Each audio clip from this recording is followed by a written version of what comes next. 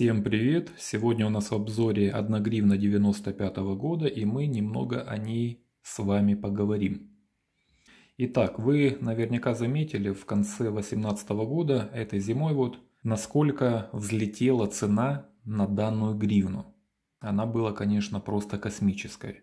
Ценник доходил до полутора тысяч гривен. Мое мнение, конечно, эту монетку раскачали определенные игроки на нумизматическом рынке и заработали на ней. Если рассматривать с точки продажи, то под Новый год выгодно любые предметы выставлять на продажу, потому что есть шанс, то, что они продадутся по максимальной цене.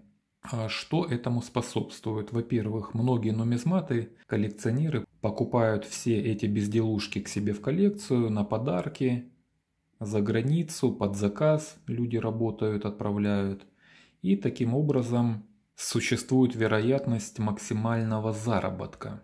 На данный момент, если мы посмотрим на цены на эту монету, они составляют уже, я бы так сказал, 650-800 гривен. Вот в этом промежутке можно купить данную монету.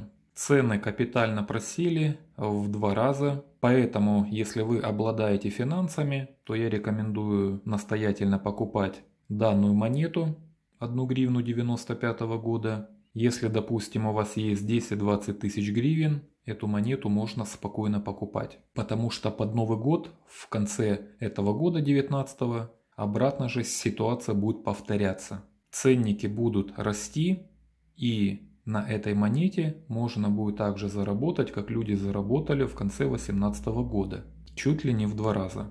И самое интересное, то что я общаюсь со многими нумизматами, они выставляли на продажу, заработали, и начинается обратно скупка данных монет, но уже без какого-либо ажиотажа, по 700, по 800 гривен эти монеты покупаются. Так что, ребята, вот такие хитрости на нумизматическом поприще, скажем так. Если взять с точки инвестиции, монета очень интересная, тираж ее 52 тысячи штук. Дешевле она точно не станет, чем даже там 600-700 гривен, а будет постепенно расти. Если вы не хотите зарабатывать, как нумизматы это делают, сейчас купили, под Новый год продали, то вы можете просто их постепенно покупать. Если даже будете покупать пару штук в месяц, я считаю, это неплохая такая вот инвестиция, если играть в долгую.